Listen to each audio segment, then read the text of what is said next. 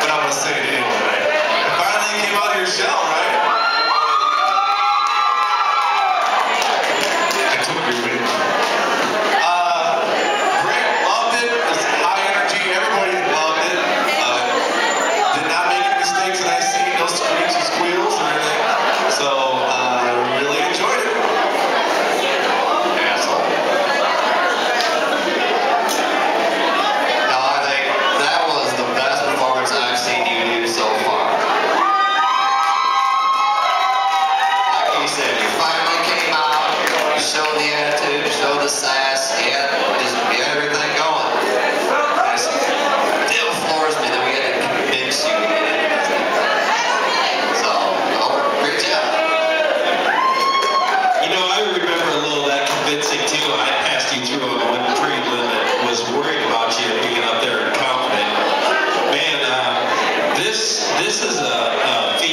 show. I mean, the girls own this deal. I